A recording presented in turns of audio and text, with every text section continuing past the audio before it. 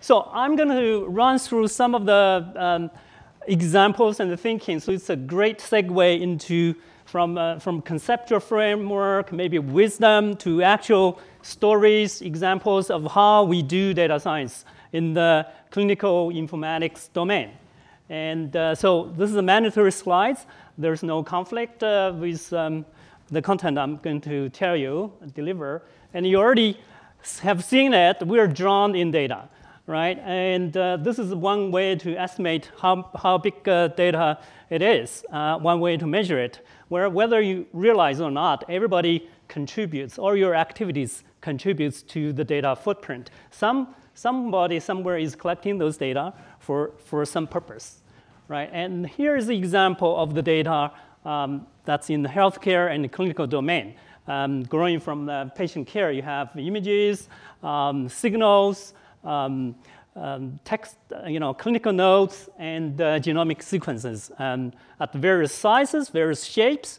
And uh, the estimation is that, uh, well, every two years, the, the footprint doubles. So this is an alarming rate. And, um, but how to cope with data and uh, how to derive um, value from data. This is a very nice report if you want to think about um, the transformation of data as an asset and driving value from data and what kind of disruptive and um, you know, progressive changes that one can make, whether it's a company or institute or healthcare entity. So these the things are all possible, you know, uh, but requires um, effort to make data um, usable and valuable.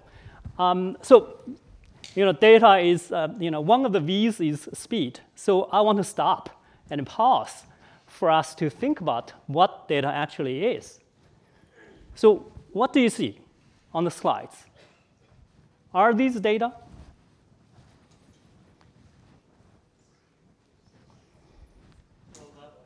Low level, right. If you want to generate data, you can use random number and fire up all the Amazon machines to generate data, right? But, uh, but generate those numbers, right? But I wouldn't call, in this context, I wouldn't call that data.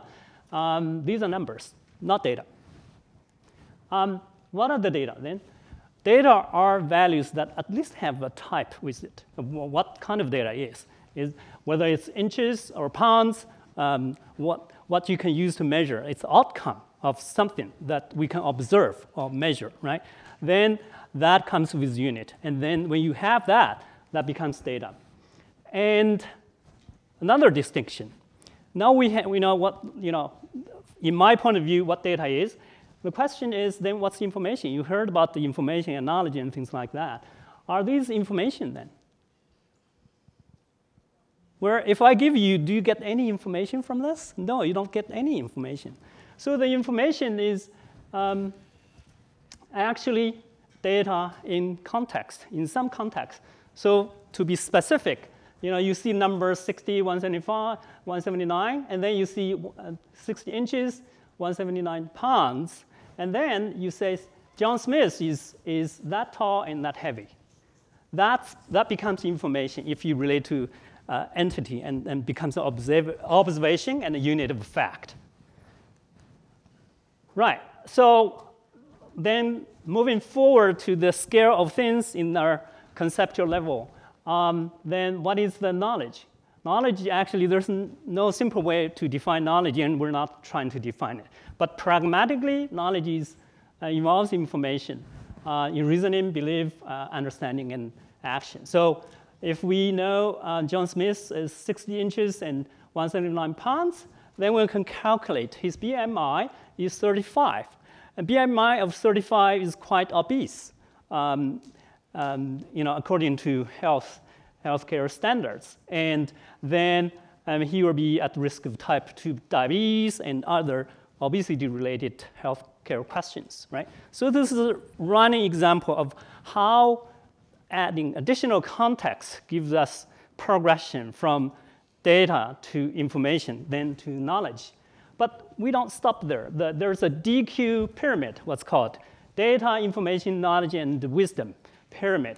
If, and the last line here says diet and exercise can reduce obesity. This is, this is wisdom. This is not a specific knowledge. This is generated from a lot of knowledge in aggregate and then observing and distill something that, where what you should do without any particular information or particular time. This is one, the, the principle based which you operate, right? So that becomes wisdom. So wisdom is principles distilled from knowledge in general. And uh, so what data science is um, about is this um, process of driving from very concrete elements, pieces of data, to relationships among those data. And then at higher level, it's actually patterns from those relations. Each level we progress, it's, it's connecting more things at a higher level. So the relation becomes one single dot in your next level of patterns, okay? So that's the way of, of thinking, uh, especially from computer science. If you're trained in computer science, you know, computational thinking very much involves these kind of levels of abstraction when we move forward. So um, big data, lost in it? Well, um, as, a, as Elena already you know, um, described very well, big data is really not about data. It's about asking a bigger question and having a bigger vision. Uh, instead of thinking about this room or your department or your company, thinking about globally. Everything, all the drivers in the world, what do they do, right? Think about that scale. Then ask a big question.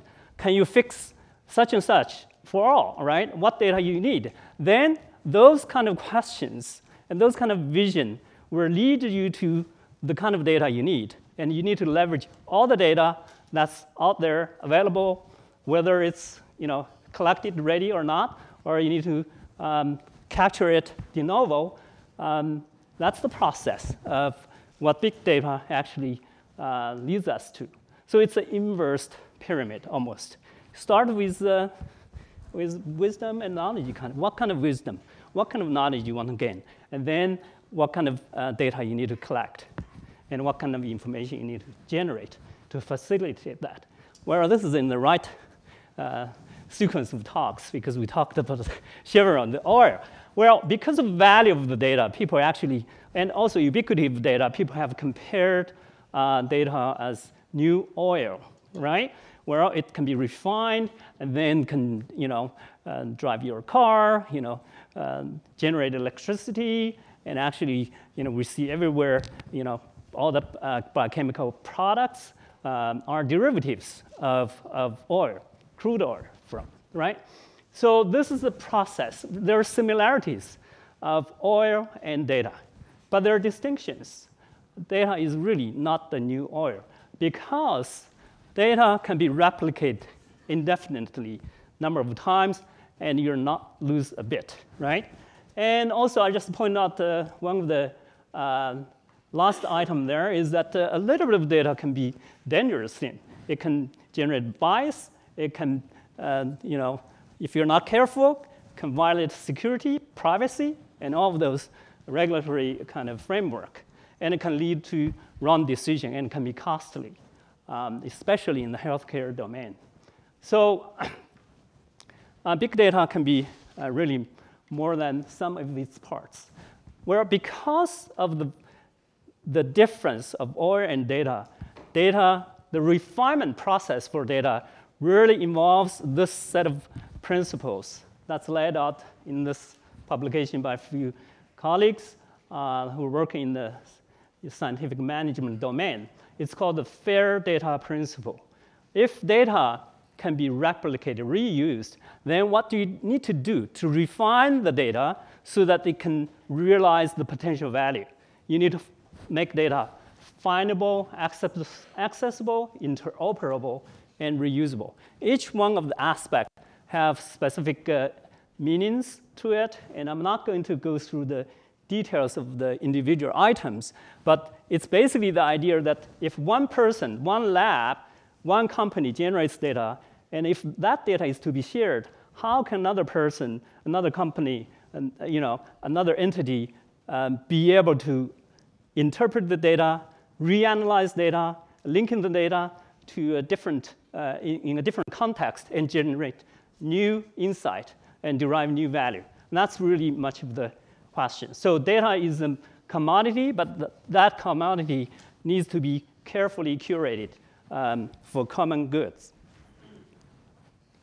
And one of the curation process, and actually this is a process that um, I have been working and, um, and uh, be uh, very familiar with that the, you know, we have databases, but not all the databases are built the same. Some of the data are, um, you have values annotated with variables. Some are defined by data dictionaries that's local and specific to this study, to this team. And then we have the data elements that, that's commonly defined that can be reused across different studies, different projects. Like the BMI, you don't need to redefine BMI, right? And that's common data elements. And moving upwards, then you have specific codes and terminologies that if you use those, that's universally understood. Everybody, if you use this code, then everybody understands. In healthcare setting, the billing code uh, is uh, ICD, uh, CPT, those are uh, universally understood.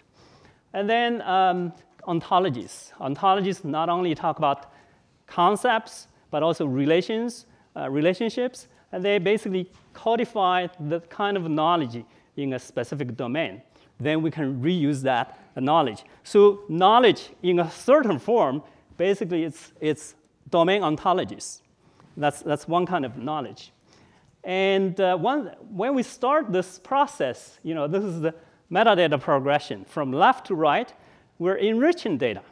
We're linking data from the basic units to add in more context to be able to get, generate information, easier to perform analytics, and then derive new knowledge in the end. And so um, I want to pause. I, I, I promise to get, give some examples, particular examples in my group uh, related uh, to uh, data science informatics. Really, you know, when you talk about data, then who generates data? How gets data gets managed, integrated, and be ready for analytics and performing an analytics. These are some of the aspects of uh, what informatics do for data science in general and informaticians uh, are treating themselves as, as data scientists as well. Um, they just move things around. Um, but in terms of approach, um, the kind of tools and um, data assets created here, we're creating that uh, using what's called inverse pyramid. So on the one hand, we generate data from, generate information from data, knowledge from information, and so on. But once we generate knowledge, whether that knowledge, where, wherever that is, if you can apply that knowledge in your process of collecting data, managing data, and generating information, why not use it? And using that is really um, uh, effective and important, uh, at least in my context. So here is our collection of tools ranging from data capture, data integration, query, um, a range of uh, tools that I'm going to quickly mention as examples that uh, I have led and working with some of the students and faculty on, on, the, on the back of the uh, seats there. Um, so feel free to talk to them about specific uh, projects of interest as well. So this is one tool called OPIC. This is a, this is a tool to capture data um, in the epilepsy monitoring units. The idea here is to capture data um, as high of a quality as possible, basically um, addressing the data quality and semantic issue as upstream as possible, right? At the first time of collection, you get it right.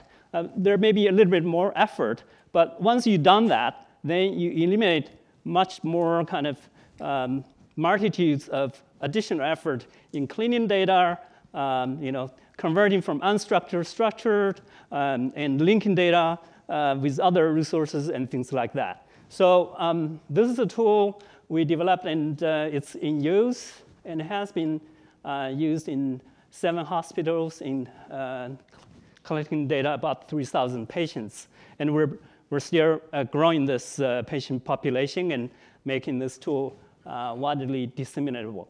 And um, the icon over there is just a um, simple um, indication that there's, there are uh, 65 million people in the world um, having epilepsy. Um, in the um, capturing uh, information in education, we created uh, this tool uh, for surveying.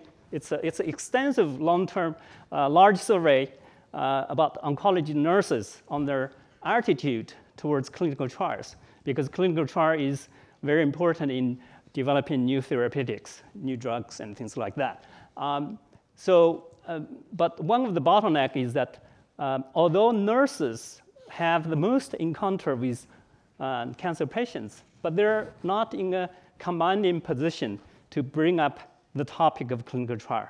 So this study, we surveyed um, where we sent invitation to the Oncology Nursing Society and have about 2,000 uh, surveys completed and randomly um, sort of branched out into um, those receiving video-based educational material and not, and perform ecological uh, moments kind of feedback to see whether those educational material made a change towards their attitude of uh, clinical trial.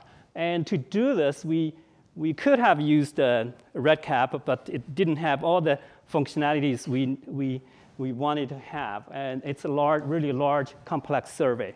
So we implemented uh, using a reform tool developed by, by ourselves. Um, another, so this is about Parkinson's disease. Parkinson's disease, um, uh, patients have uncontrollable tremors. And if you implant a device in the brain, uh, it's just like pacemaker for the heart. You can control the tremor and a patient can uh, function normally. So, but the question is where and how, what kind of stimulation to apply, um, how to program the device so that it continuously function uh, in a way it's intended. And uh, so collecting those kind of data, you really get much to get into the topic that was actually yesterday's keynote that you know, every patient uh, enter into the health system, that information um, should be used to, uh, for the purpose of the next patient that's coming to the, to the healthcare system.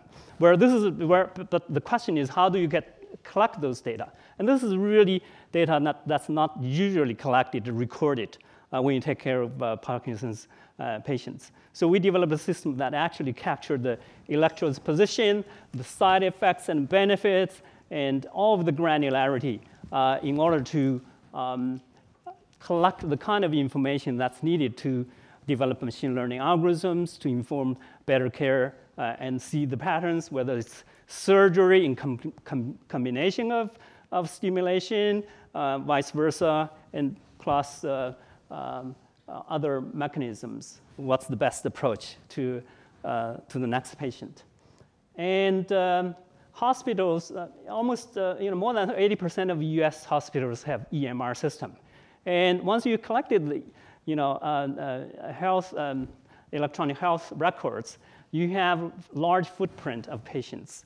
And um, electronic data warehouse uh, is really um, about reusing that patient cohort and to perform um, different kinds of research, uh, per, uh, research projects.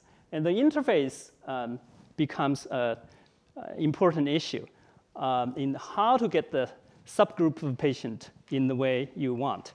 And we developed the, the, uh, the data sphere, the system, uh, to make that process easier. I re revisited this topic and just a little bit. Um, related to um, epilepsy, still we want to have curated um, signals of seizures so that people can readily visualize, perform analysis, and maybe share with, um, with different groups. This is really tra uh, transforming the data format from long time series data into minimum, minimum kind of units that's ported with its own metadata so that you can qu quickly reassemble in the way you want. That, that makes the signal data um, much more manageable and visualizable and analyzable. And this is an ongoing project. Uh, this is a, just early stage. We're um, going to um, uh, use this approach and uh, ingest uh, um, epilepsy patients into this kind of um, platform and help um, um, study seizure patterns. And speaking of seizure patterns, uh, the, this is really an unsolved problem of how to uh, detect seizure and, and actually predict seizure. The challenges, um, um, one of the ma main challenges actually data is, can be very noisy in those settings. Imagine patient having seizure and then you're trying to re record the signal. So electrodes can get, get loose, there can be other artifacts, and how to really distill the useful information from those noisy context is really a challenge in, in deriving value from here. So, um, and then um, once you, so these are collection of tools that's involved in um, collecting data and visualizing data. Uh, but then query and integration of the data is next uh, several tools um, gets into that uh, topic. one is called XSearch. It's a search interface driven by uh, sleep domain ontology. 20% of the US population don't have, uh, don't get enough sleep and actually have sleep disorders. And so sleep is important, but this is a resource, the front end of the resource that allows you to query what kind of sleep data are there that's available for you to perform a sleep-related study. And this is another tool developed by Xiaojing Li um, to perform automatic sleep uh, stage scoring.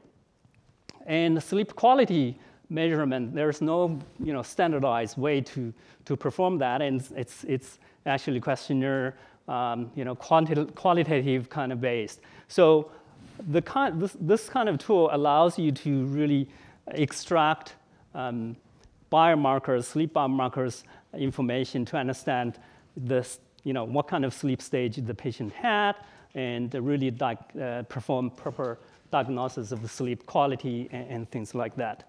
Um, uh, this is the core interface for epilepsy data. Once we collected the epilepsy data, multimodality data from uh, epilepsy, epilepsy patients, then we'll, be, we'll need to be able to uh, query that data, explore that data, and um, create cases and controls, um, and to perform um, um research and analysis. Um, this is another interface we, we're um, developing, which is to, to provide better, more usable interface to access cancer register data. And this is really by, this is by converting um, NCI thesaurus, which is a terminology system dedicated to, uh, for cancer, uh, but making that serving an interface role so that you interact with uh, this familiar kind of terminologies and concepts. But when, as you drill down, you, you actually get to the kind of information you sub-cohort, uh, subpopulation of interest you, you're interested in.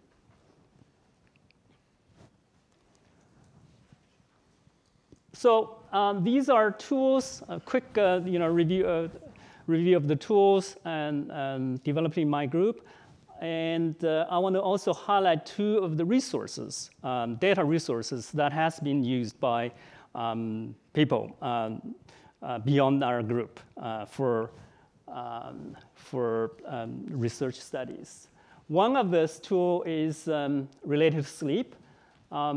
again, sleep um, is important. And uh, if you don't have uh, good quality sleep, um, you have long-term health um, problems either, either develop, uh, whether it's um, diabetes, dementia, obesity, obesity, and AD, and things like that. That's really um, basically our health and well-being is uh, grounded on good quality sleep uh, regular, regularly. Uh, and so because of this importance, um, NIH, NHLBI in particular, has funded uh, a number, a large number of epidemiological uh, studies and clinical trials. So over time, those um, projects uh, collected a large amount of data about patients, their polysomnograms, their sleep signals um, uh, overnight in the hospital, and um, all their um, clinical uh, comorbidities, what kind of conditions they have, their demographics, and, and things like that. So uh, each number there is really uh, the number of participants for that particular study, whether it's for um, uh, heart disease or for dementia and things like that. that. So we have uh, quite a lot of, uh, you know, a dozen those large-scale studies that the data is al already there. The original investigators who performed the study have those data somewhere. But the purpose of the, um, for us is really to collect all the, integrate all of those data in one setting so that if a new generation of researcher wants to reanalyze data, asking a different question, asking a bigger question, they can readily access and reuse this data for their research. You can imagine, you know, these studies, each of the individual studies are performed at different uh, settings, different departments, different labs, and uh, at different times. And, and, integrating, harmonizing this data is really a tall order, and it's really, uh, I would say, one of the most challenging aspects for data scientists, right? How do you refine this big data oil, right?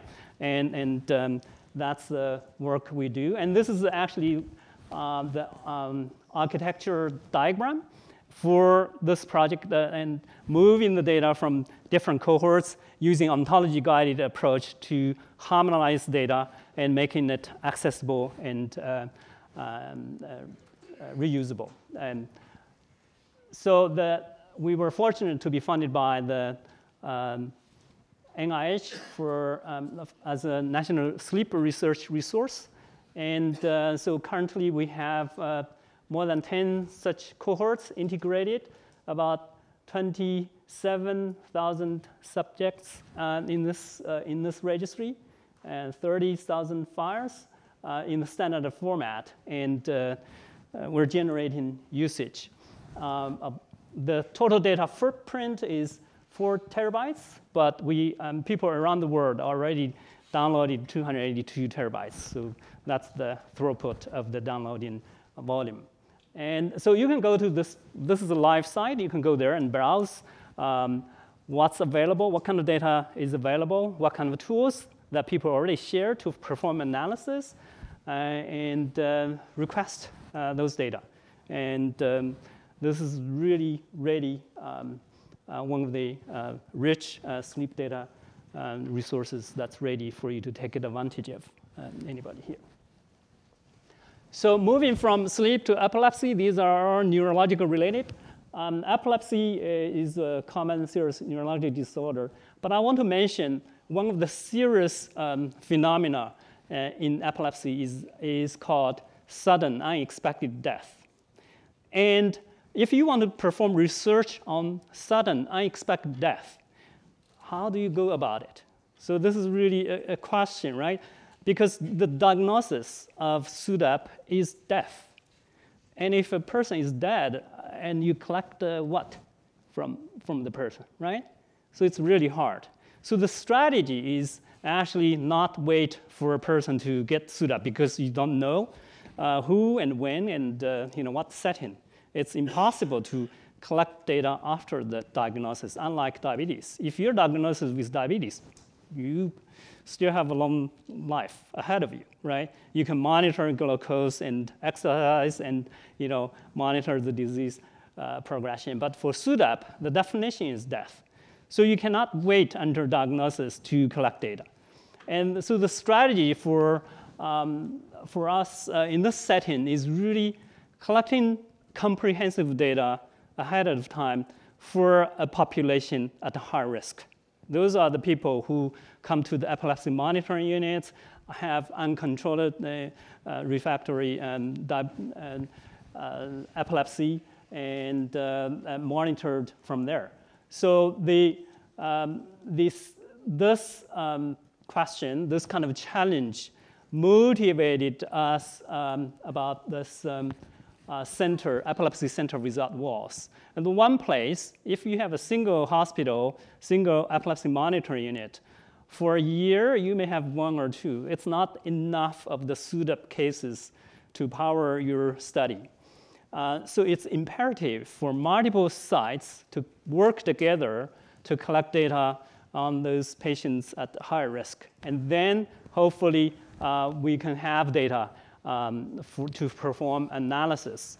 Um, not only um, from patient to patient, you know, using uh, single data, uh, clinical data, but also um, the center is set up in such a way that we have basic scientists, mouse model people, working side by side with clinicians who interact with human.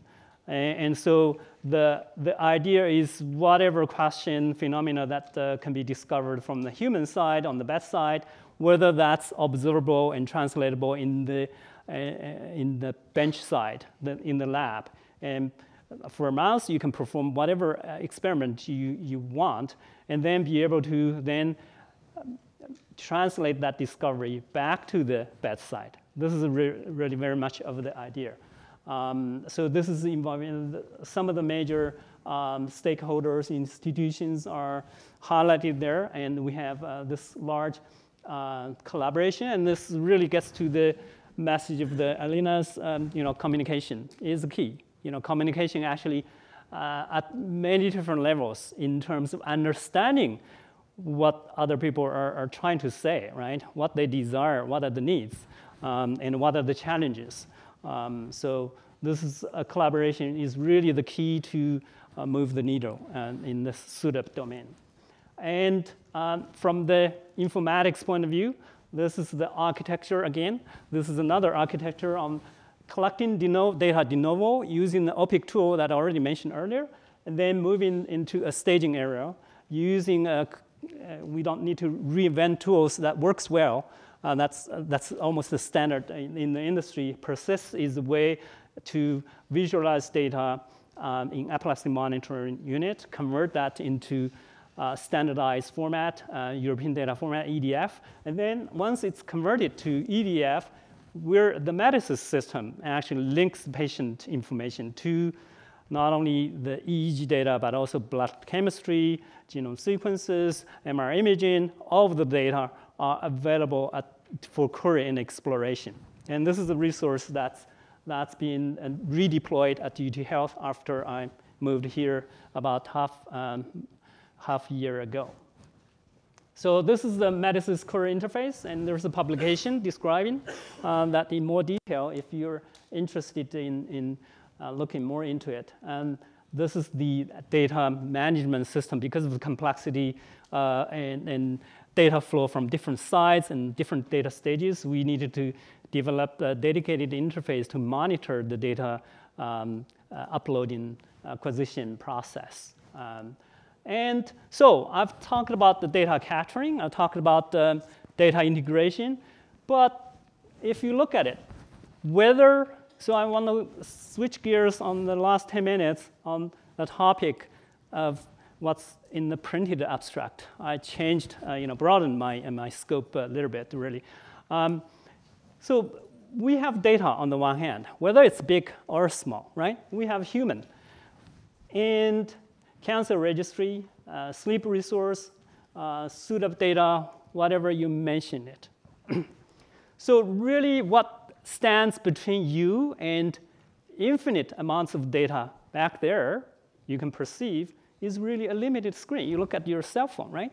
It's really limited. You look at your laptop, it's uh, a little larger, but it's still limited, confined real estate. And through that, you need to right, look into data, try to see what's there, right, and visualize. It's really a, a, becomes a bottleneck how we take advantage of this really limited uh, space. That's a bottleneck.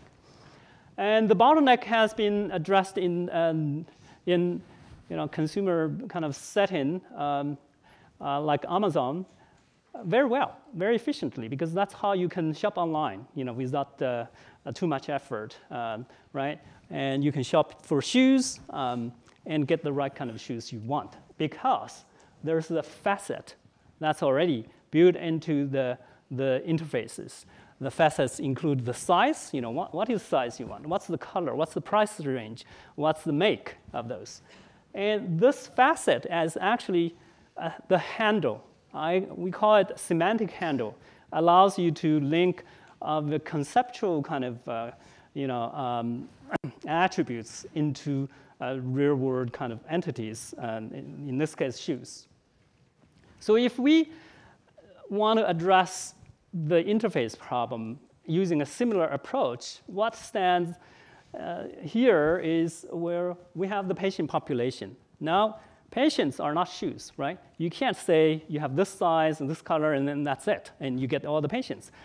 The disease variety, the medication, the diagnosis, the procedure, and all of that, there, there's millions of variations and combinations there. It's very hard to just build, let's say, create a facet to search for patients, right? But what do you do? Well, fortunately, we, most of the information is already annotated or can be readily or with some effort annotated using higher kind of metadata, higher level metadata, whether it's terminologies or ontologies. So here, we, we can think of a scaffolding built on top. So the patients are actually fitting into different hierarchies in your ontological and terminological hierarchy in, in each of the case. And we can turn that around and treat that as facets and subfacets and convert it that way. Uh, in that way, as you navigate the ontological hierarchy, which is where by definition more familiar to our conceptual understanding, once you expand that, you get gets refining your basically refining your exploration and narrowing down and uh, gets the subpopulation you want. So, so the, the challenge is how does the big ontologies having you know, millions of terms fit into this limited space of uh, where you originally had the facets uh, in shopping for shoes. And that's the interface challenge. And, and that's the challenge um, that we need to develop systematic ways to convert. Uh, this is the way to convert NCI thesaurus into kind of facet and subfacets and continually be able to expand and drill down to the, uh, to the place uh, the uh, uh, user wants.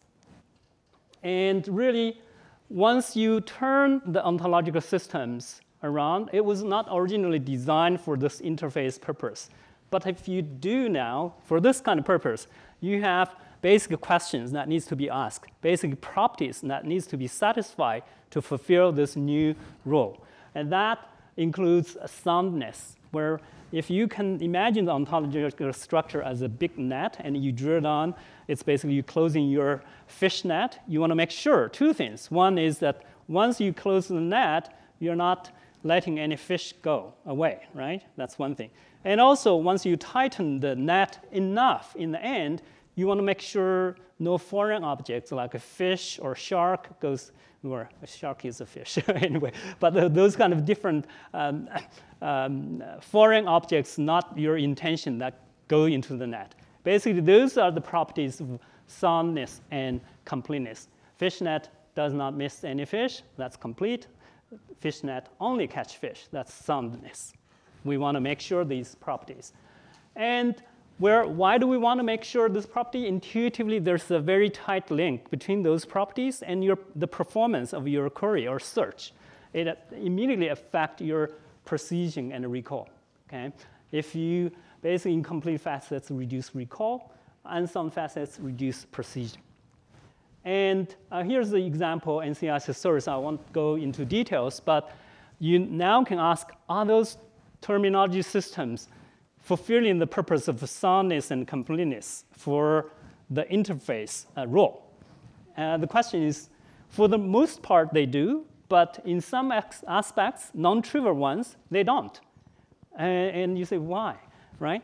So this is really ontology related ontology quality analysis uh, kind of topic. And this is a research area very dear to my mind, uh, to my heart, um, for that matter. Um, so it's hunting for those kind of defects in the ontological systems that actually turn out not only they are not good fit for the interface, they are quality issues in themselves. um, that needs to be addressed.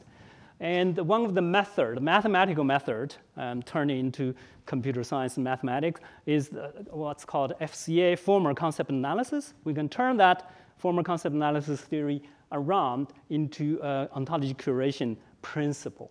And we apply that to uh, improve the speed because we need to do exhaustive analysis or applying it to uh, different settings, whether it's SNOMED, gene ontology, and thesaurus. Here's a um, collection of uh, um, papers um, reporting the progress on that.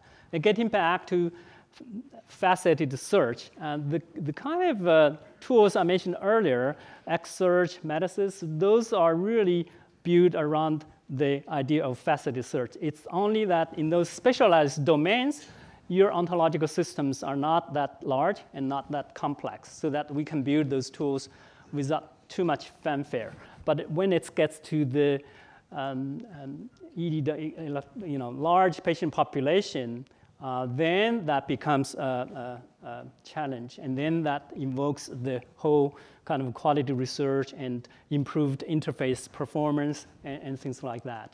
So that's for data resource. I want to turn because I sit in the, you know, UT Health. Um, actually, my office is two streets uh, on the other side. Um, I'm a computer scientist, uh, you know, sitting right in the center of uh, TMC, basically. Uh, but I can't ignore those uh, healthcare and clinical questions as the data scientist. There, there's a lot of opportunity, tremendous amount of opportunities we can, as a data scientist, a computer scientist, informatician, we can do to impact um, both the quality of care, the, uh, the doctor's um, interaction experience with the EMR system, you know, the burning, um, you know, burnout of physicians really has to do with um, too much effort uh, that they need to spend interacting, uh, struggling uh, with the EMR system.